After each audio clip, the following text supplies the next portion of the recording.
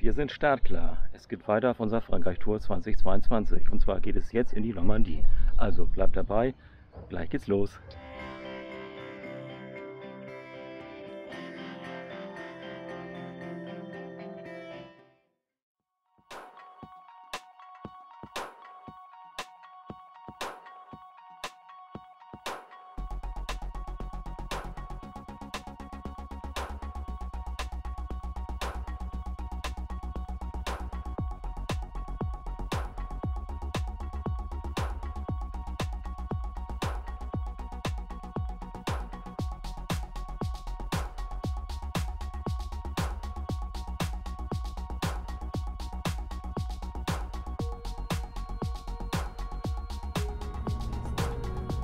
Nehmen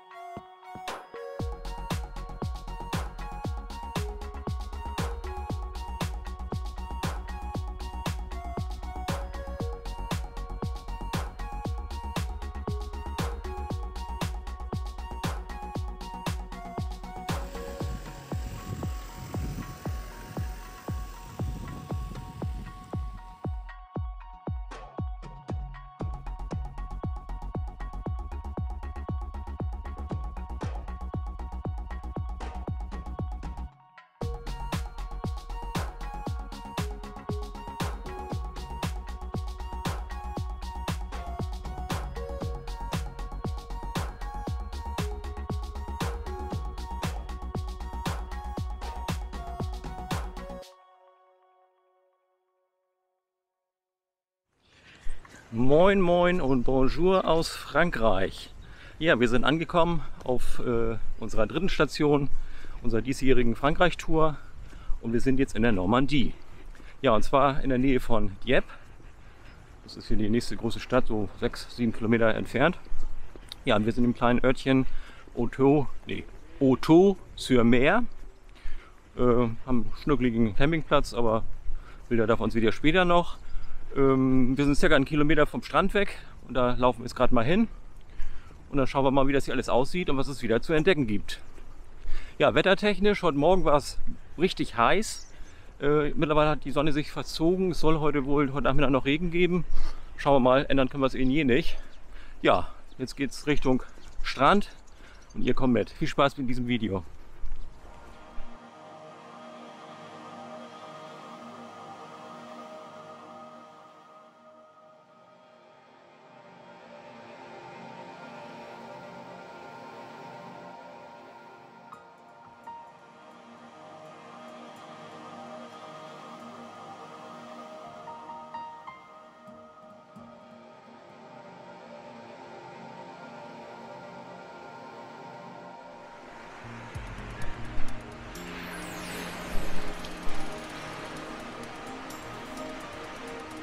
Ja, wie ihr sehen könnt, ist auch an diesem Strandabschnitt ja kein Sandstrand, sondern wieder sehr viele Steine. Steine, Steine, Steine. Hast du deine Badehose mit? Sonst hätten wir baden können. Da baden ja schon welche.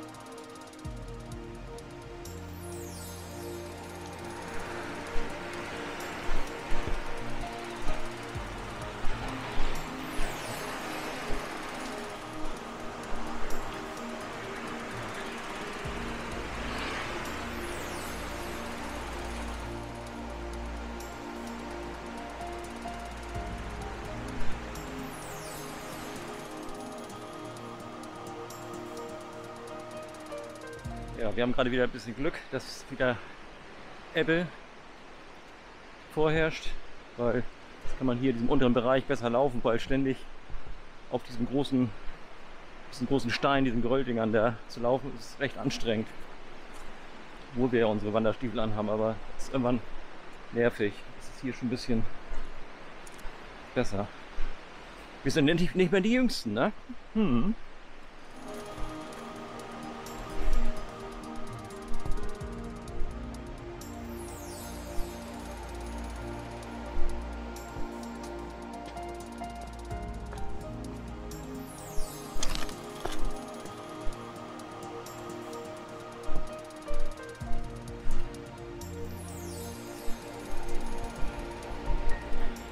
Diesem Bereich hat die Apple ein bisschen Sandstrand freigegeben. Mal sehen, wie weit das hier so geht.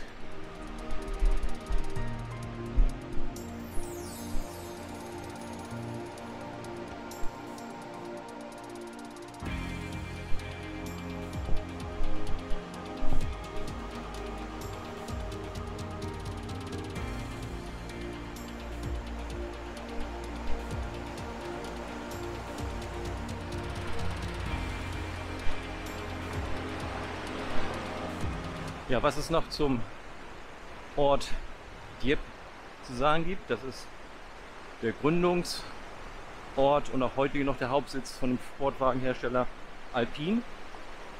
Da kennt ihr ja noch diese alten Modelle A110 und A310 heißen die, glaube ich. Und äh, mittlerweile baut ja seit noch 2018 Alpine wieder einen aktuellen Sportwagen. Gehört ja zu Renault.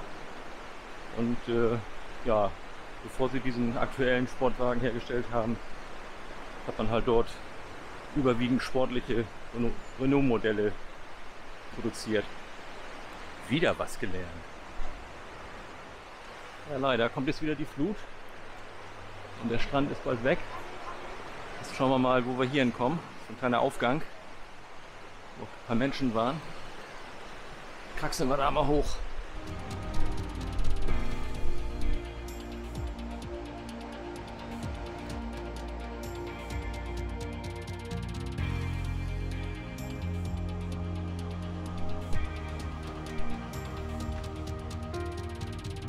Cool. Hier gibt es auch wieder ausgewiesene Wanderwege. Da gucken wir mal rein, wo es da lang geht. Im Berghof, wir schnaufen gerade ein wenig. Rein? Gut.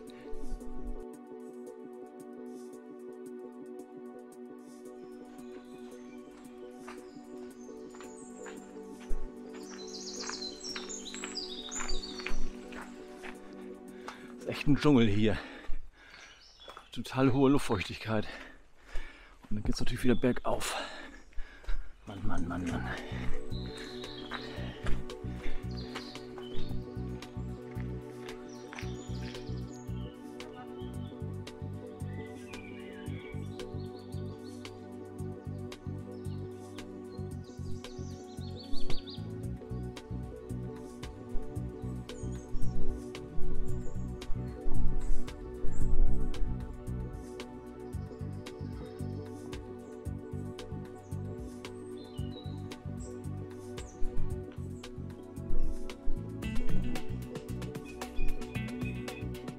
Ich muss schon sagen, hier gibt es teilweise richtig nette Häuser. Richtig so mit Stil, teilweise auch mit alten Autos davor. Ja, gibt schlechtere Orte, als hier zu leben, glaube ich. Nachdem wir jetzt auf dem Rückweg eine große Runde durch die Natur gemacht haben, sind wir da unten jetzt gleich wieder in Auto-sur-Mer. Da unten ist auch wieder die Kirche, die ihr auch schon mal gesehen habt.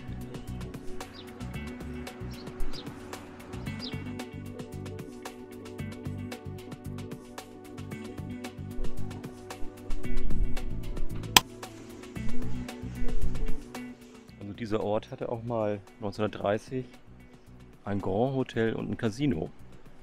Also auch damals ließen die Reichen und Schönen sich das Leben hier gut gehen. Ist nämlich ein Foto.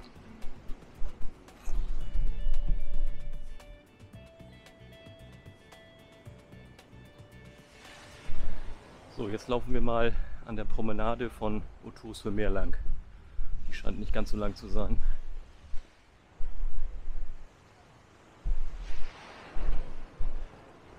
Also hier gibt es auch ein paar Badehäuschen, aber nicht so viele und auch nicht so schöne. Da waren die doch in Cailleux-sur-Mer erheblich netter gemacht. Wenn ihr das Video noch nicht gesehen habt, ich verlinke mal da oben. Auch mal anschauen.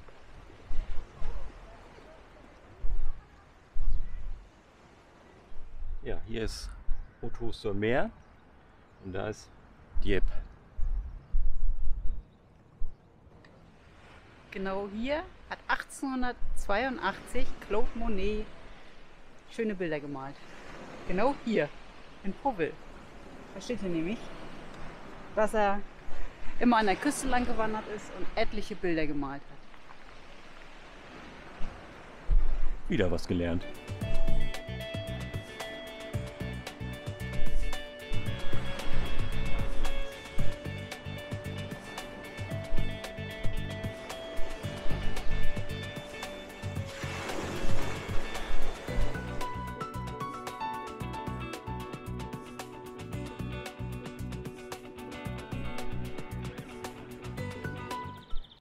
Ja, wir sind hier auf dem Campingplatz Le Marqueval und da gehen wir jetzt mal rein, damit ihr mal einen kleinen Eindruck davon bekommt.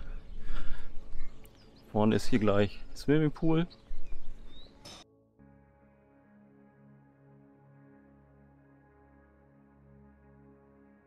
Linke Seite ist die Rezeption. Hier gibt es morgens auch die Baguettes, die man bestellen kann. Hier ist eine Bar gibt es auch Snacks.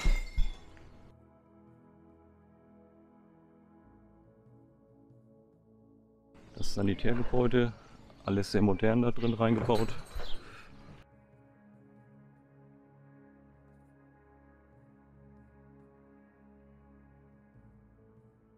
Ja, wie fast überall in Frankreich sehr viel Mobile Homes hier drauf, die man mieten kann. Aber das Highlight sind halt die Fischteiche, die hier drin sind. Man kann hier auch gegen Gebühr angeln.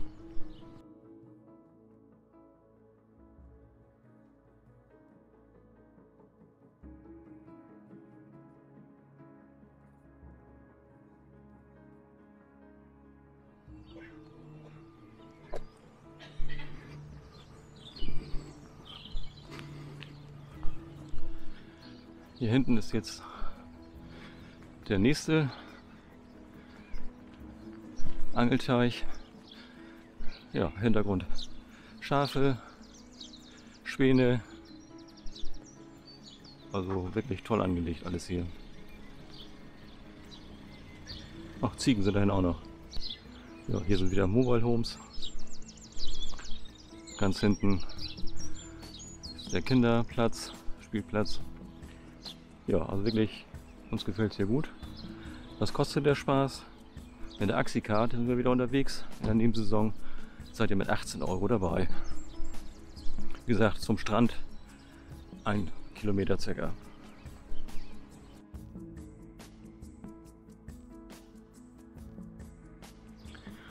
Ja, hier vorne sind diverse Waschmaschinen und Trockner. Hier um die Ecke geht's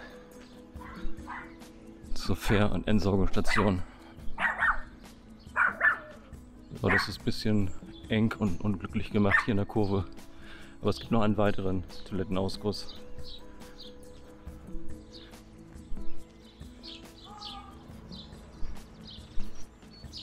Ja, und hier wieder die obligatorischen Mobile Homes.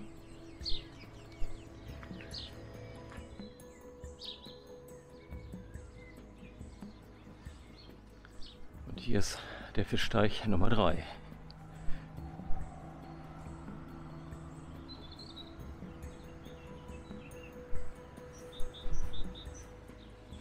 von unserer Reihe.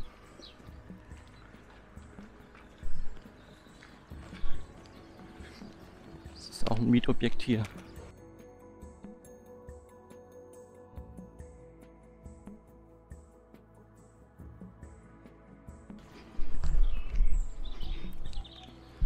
Genau, da steht der Ranner.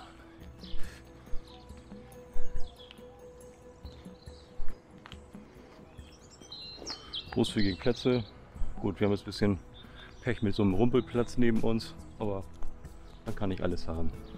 Ja, und da vorne ist dann halt Der eine Fischteich. Noch ist hier alles relativ leer. Das wird sich wahrscheinlich heute Abend noch alles ändern. So, jetzt habt ihr einen kleinen Eindruck von diesem Campingplatz. Also, man kann wirklich nicht meckern. Ist ein schönes, schönes Plätzchen Erde.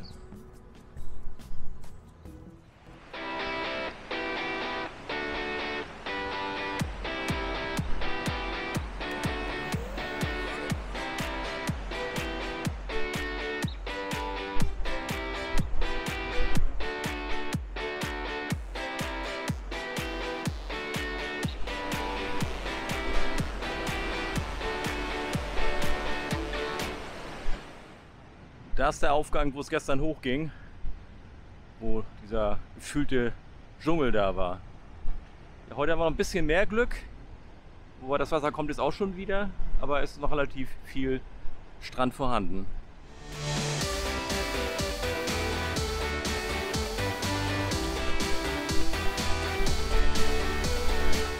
Wir haben jetzt gerade unseren Rückweg geplant. Hier ist auch wieder ein Aufstieg. Scheint auch ein Wanderweg zu sein. Den werden wir nachher wohl mal entdecken und erkundigen.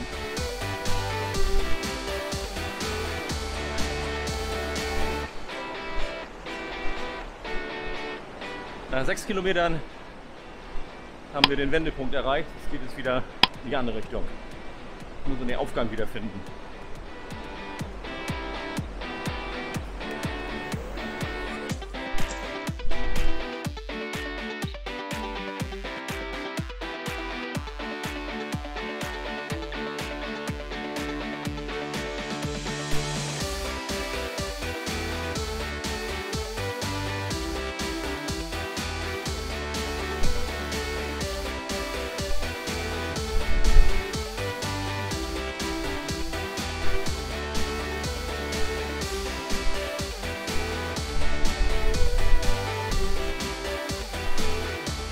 Wanderweg. Das richtige Kontrastprogramm. Eben noch am Strand das Meeresrauschen und jetzt ist man hier gefühlt wieder im Dschungel. Wald und überall Vogelgezwitscher. Hier hat man alles. Wald und Meer. Also was uns hier mal auf unseren Touren auffällt, hier ist überall Stacheldraht. Stacheldraht, Stacheldraht. Also überall. Selbst jede Weide wird mit Stacheldraht abgesichert. Grundstücke. Kommst du nicht vom Weg ab. Hat auch Vorteile. So. Ist gesichert gegen, gegen Ja. das Gewild, Gewild, Getier hier. Ja. Vielleicht kommen hier noch die Bären oder so. Ja. Darfst nicht umkippen, dann liegst im Stacheldraht drin. Oh, kommen jetzt hier Mücken oder was? Jetzt kommen Mücken, wir müssen uns be bewegen. Auf geht's. Das sind auch wilde Bestien.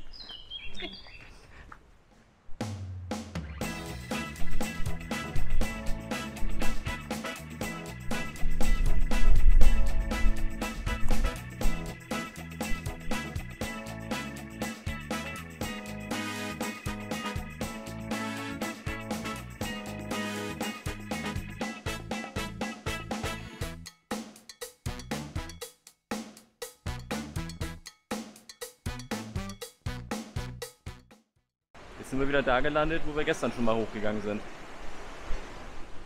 Wollen wir es jetzt auf dem Heimweg machen? Wir könnten jetzt wieder am Strand lang marschieren, wobei da ist kaum noch Strand, nur noch die dicken Steine. Das ist nicht, nicht doll zu laufen. Ne? Also müssen wir wieder da hoch, den gleichen Weg nehmen wie gestern. Der war ja auch nicht schlecht. Jo. So machen wir das.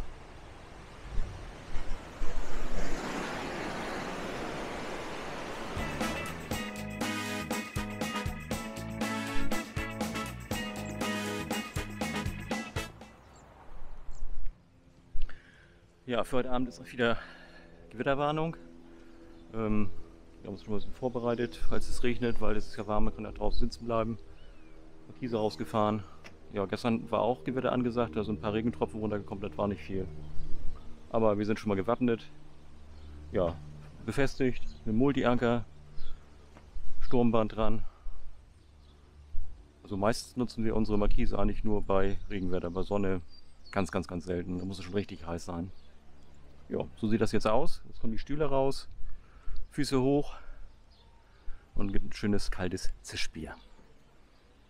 Prost. Nachdem das gestern Abend und die ganze Nacht eigentlich nur geregnet hat, ja, es ist jetzt gerade wieder trocken. Allerdings nichts mehr mit Sonne.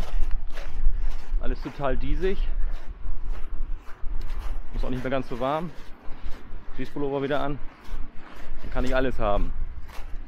Ja, ist gerade noch ein bisschen Apple. Wir gehen jetzt gerade mal in die andere Richtung. Ähm, mal gucken, was es hier so alles zu sehen gibt. Ich schwenke einfach mal. Könnt ihr überhaupt was sehen?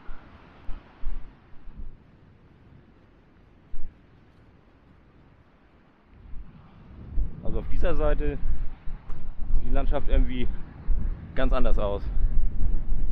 Fast wie so eine Kraterlandschaft. Gut, keine Sonne dabei. Sonne wird zwar schon etwas schöner aussehen.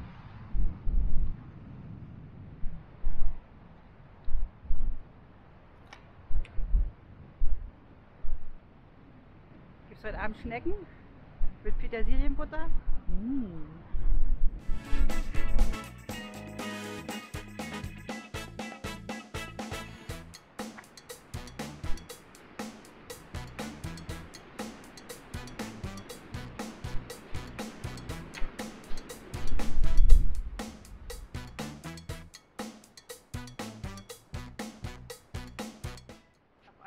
Große Muschel gefunden. Lebt auch keiner mehr drinne. Oder ist das eine Schnecke? Gedreht. ist der Unterschied zwischen Muschel und Schnecke? Beides Weichtiere. Wie wär's mit einem Fischbrötchen? Nee, wir haben was Besseres. Pan au Chocolat.